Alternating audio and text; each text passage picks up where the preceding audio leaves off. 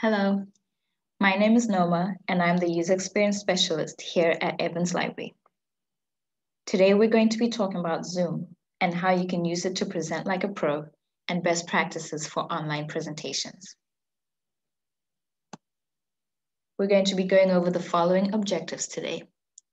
Preparing a presentation, sharing your screen seamlessly, engaging with your audience virtually, technical tips to ace the presentation, and on-campus resources.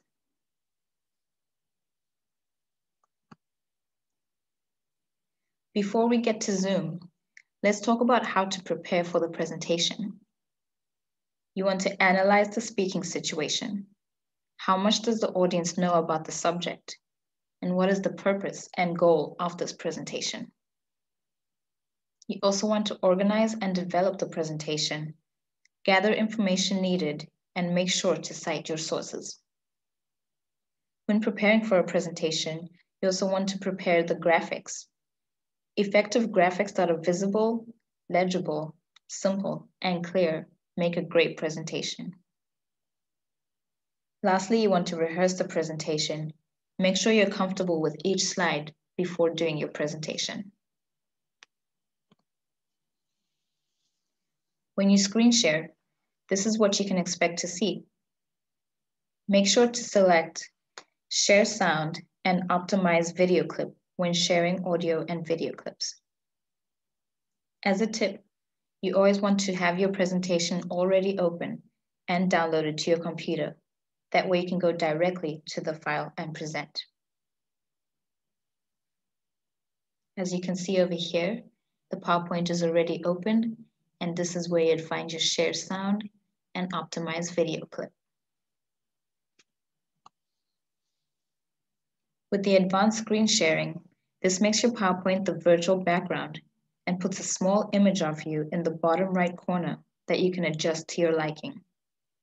This is an interesting way of keeping your audience engaged.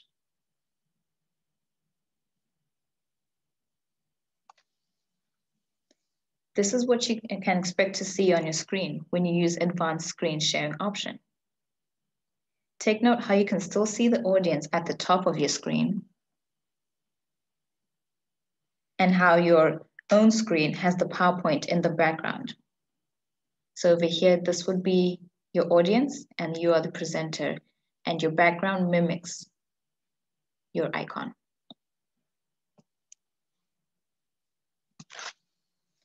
When it comes to keeping your audience engaged, this is where you can find the whiteboard.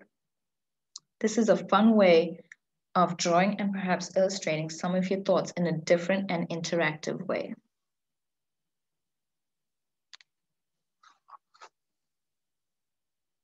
You will also find the Annotate tool on your floating toolbar. This allows you to illustrate and point out key facts and figures on the screen. If you're in a group presentation, as long as all the members are co-hosts, they can each annotate something and the annotations will be labeled with each group member's name. Within the Annotate tool, you will also find the Spotlight tool. And this works like a laser for you to draw your audience to certain facts and figures. So on to the technical side of the presentation. Make sure your lighting is adequate for the presentation. If your lighting is still too dark, you can enhance your appearance in the settings by touching up the video quality. Zoom backgrounds are fun, but sometimes there's a time and a place for these backgrounds. Take note of your physical background too. Roommates walking in the background, cats and dogs chasing each other can take away from your A-star performance. Be aware of your placement of your webcam. You want to aim to have your camera at eye level. That way it appears as if you're talking to your audience directly. When presenting, don't forget to make your group members co-hosts early on.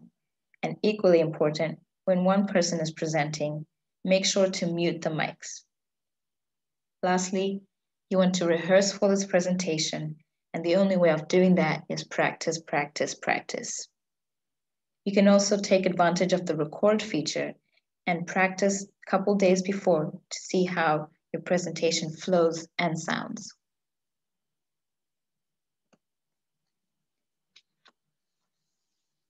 You can also find on-campus resources from faculty experts from the School of Arts and Communication.